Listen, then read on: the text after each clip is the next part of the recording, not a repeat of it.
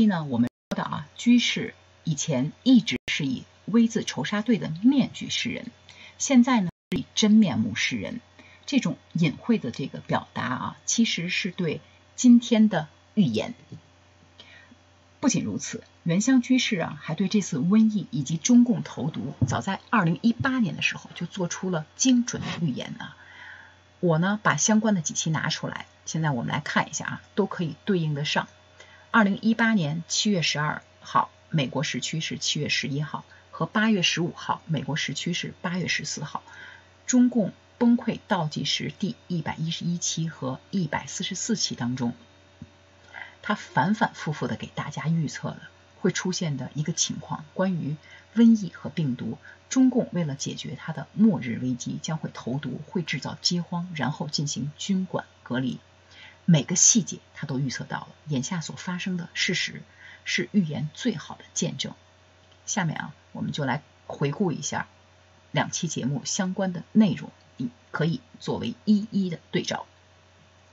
第一百一十一期啊，惊世罪恶，为维稳将不惜制造瘟疫，中共末日之际的屠杀计划。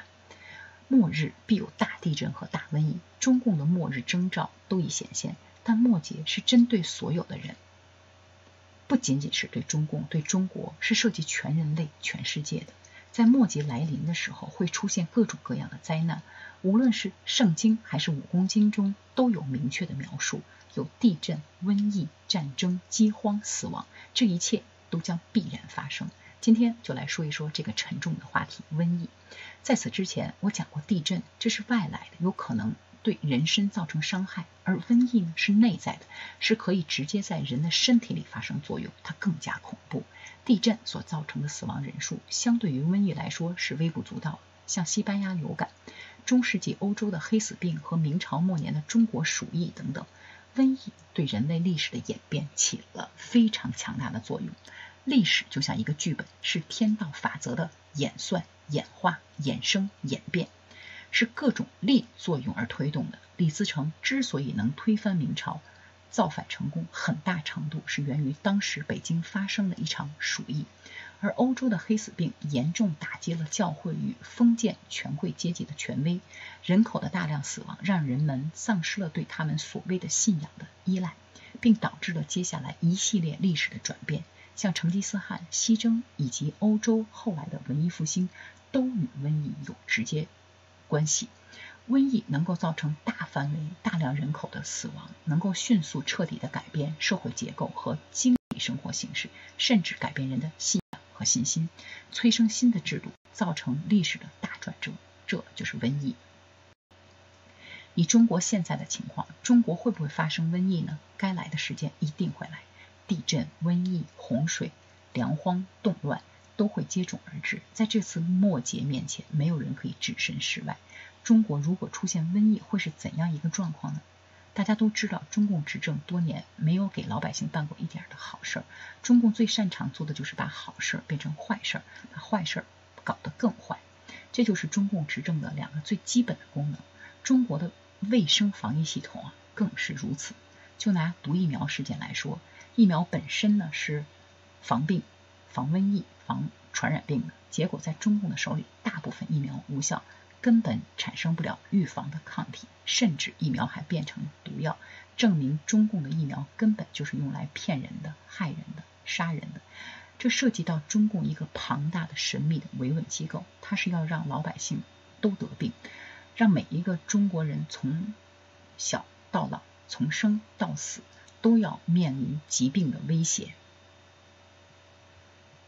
因为疾病的拖累而丧失造反的意志。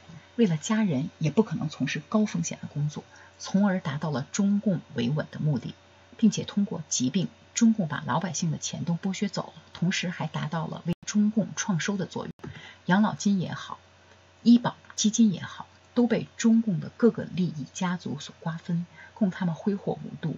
而且他们享受着中国孩子的器官和用孩子做的药，中国各地偷孩子的事件层出不穷。为什么呢？有的偷孩子罪犯甚至刚抓就放，为什么？因为他们是中共利益阶层的别动队，都是中央控制的。这也是中共唯一的独家的，可以拿来跟世界上各个权贵们、巨富们和隐秘力量交易的一张牌。偷孩子和偷器官的背后黑手就是中共。可以想象，中国如果发生瘟疫，中国的卫生防疫系统可以救老百姓的命吗？显然是不可能的。因为对中共既得利益集团来说，只有老百姓活不好，挣扎在死亡线上，中共才能安心。所以，中国的医疗系统是个杀人害命的机构。对应今天的这个疫情不受控制啊，肆意蔓延。当年非典的时候，当中国老百姓都在面临疾病死亡的时候，中南海的官员都跑到哪儿去了呢？中共领导们都躲在北京十渡的各个别墅里。哪管你老百姓的死活？老百姓在面临末日瘟疫的时候，你指望中共这些体系压根儿是不靠谱的。所以老百姓要做的就是要认真的准备，你所认为的不会发生的事情都会发生，比如 P2P 贸易战都发生了。接下来坏事还要一天比一天多，一天比一天严重。不要天真的以为天下太平不会有事。最近的猪瘟和羊瘟不都已经开始发作了吗？瘟疫一旦发作，将很难被扑灭，并且伴随着巨大的代价。以上讲的是非人为的瘟疫为天灾，但是还有一个更危险的瘟疫，就是中共人为制造的。中共目前有脑控武器、电磁武器和生化武器。瘟疫作为生化武器的一种，中共怎么可能没有呢？怎么可能不研究呢？他研究这个东西是给敌人用的吗？是拿来跟美国决战的吗？都不是。它很多东西。就是为了给中国人用的，像叙利亚的化学武器，不就是用在叙利亚老百姓身上吗？叙利亚的那些独裁专制者比中共的邪恶差远了。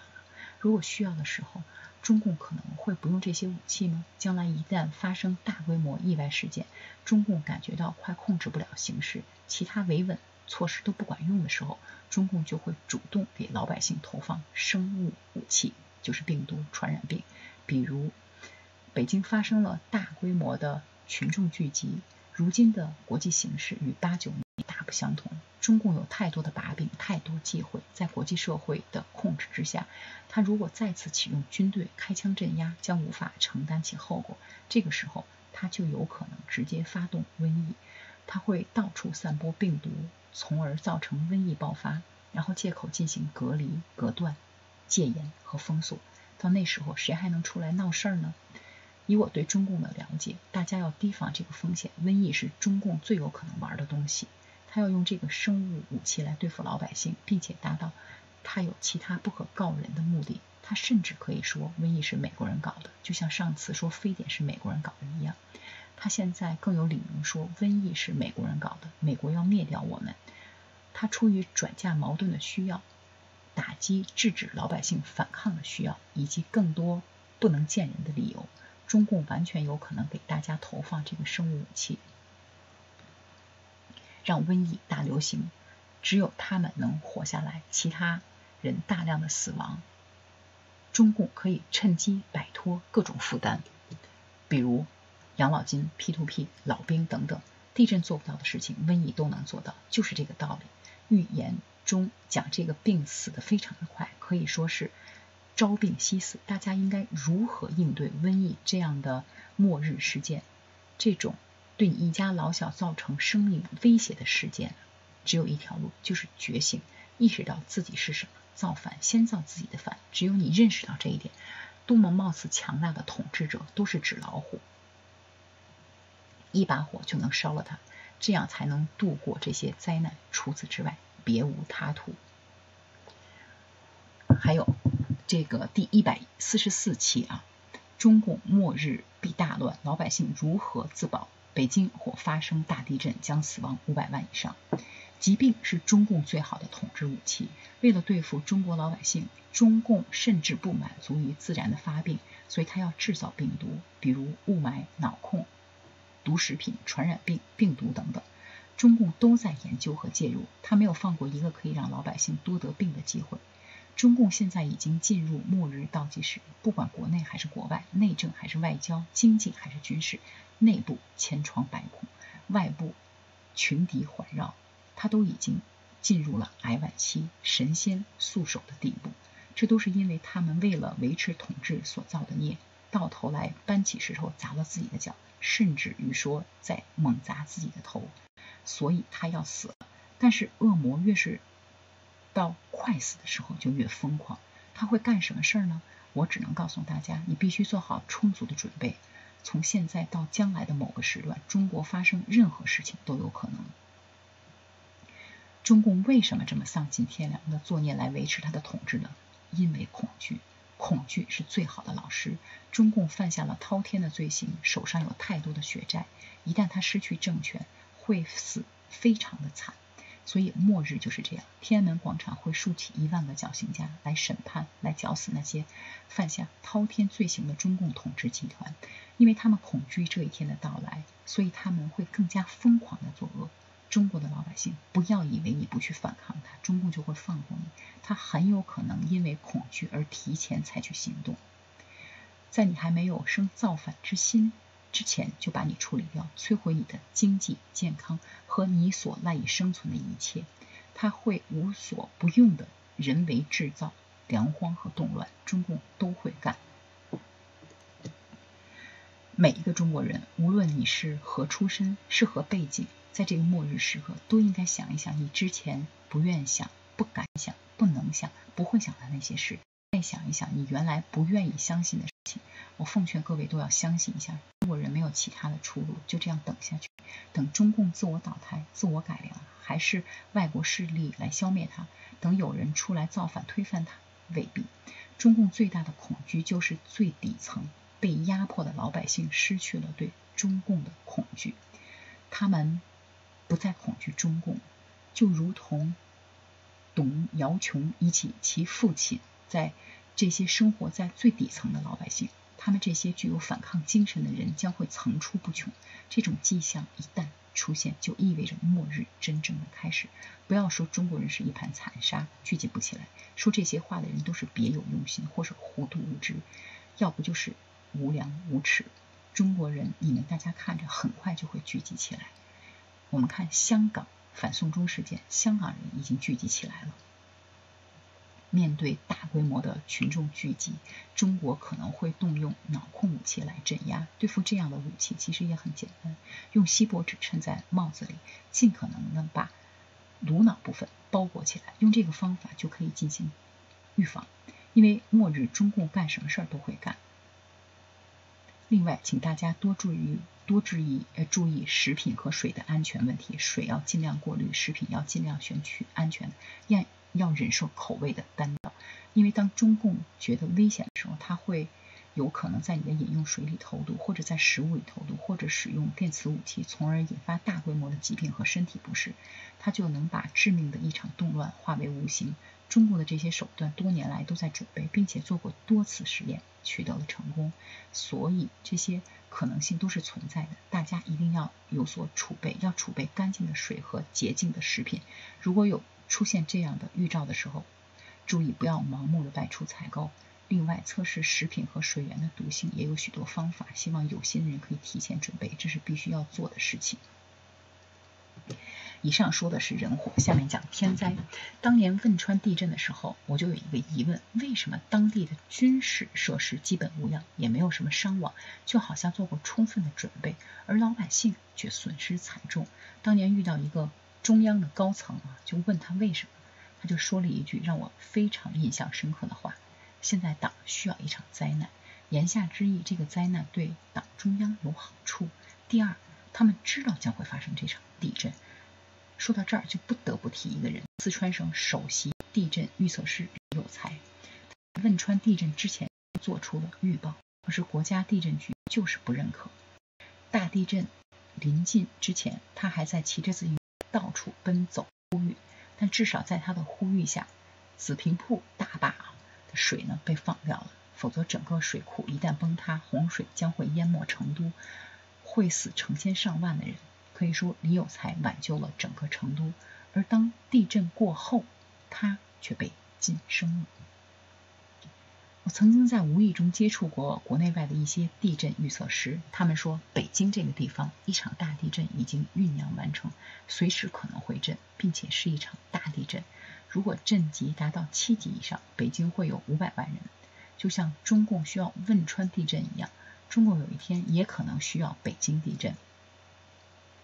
在北京，经常会有一些不明巨响和巨大的震动，政府呢对此讳莫如深。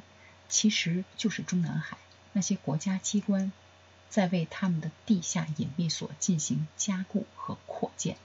他们已经知道这场即将来临的地震，所以在前几年悄无声息地将北京所有的中小学完成了加固，而老百姓什么都不知道。